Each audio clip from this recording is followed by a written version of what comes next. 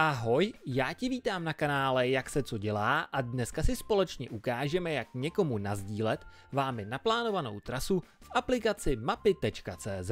Takže jako první věc na našem telefonu spustíme aplikaci mapy.cz a poté, co máme aplikaci spuštěnou, nyní si naplánujeme naší trasu. Poté, co máte trasu naplánovanou stejně jako mám já, Potáhneme prstem po naší obrazovce od spodního menu nahoru, tímto se nám zobrazí detail naší trasy, také se nám zobrazí spodní menu a zde vybereme položku sdílet. Nyní se nám vytvořil odkaz pro sdílení, tento odkaz si jednoduše pomocí tlačítka kopírovat můžeme skopírovat a komukoliv ho poslat, případně ho také rovnou můžeme sdílet komukoliv pomocí našich sociálních sítí, e-mailu nebo zprávy, které máme v telefonu.